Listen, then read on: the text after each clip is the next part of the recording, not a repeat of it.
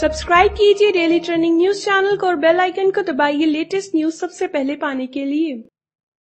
श्रीदेवी के निधन से पूरा भारत सदमे में है। फैंस को श्रीदेवी के पार्थिव शरीर का इंतज़ार है। खबरों की माने तो श्रीदेवी का शव रात एक बजे प्राइवेट जेट से भारत आएगा। इसके बाद कल अंतिम संस्कार होगा।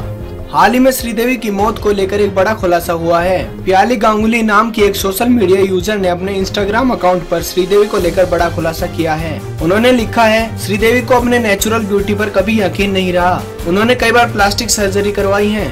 वो हमेशा खूबसूरत दिखना चाहती थी। इसका उन पर काफ़ी प्रेशर था। खूबसूरत दिखने का यही दबाव उनकी मौत का कारण बना है। इसी प्रेशर की वजह से उन्हें कार्डियक अरेस्ट आया है। अब प्याली का यह पोस्ट वायरल हो रहा है। श्रीदेवी के पति ने उन्हें पूरी आज़ादी दे रखी थी।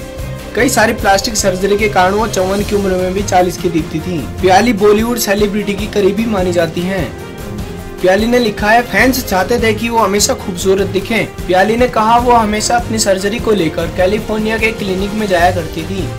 उनके पति जो उनसे बहुत प्यार करते थे, उन्हें श्रीदेवी को रोकना चाहिए था। प्याली के इस पोस्ट से सोशल मीडिया पर हंगामा मचा हुआ है।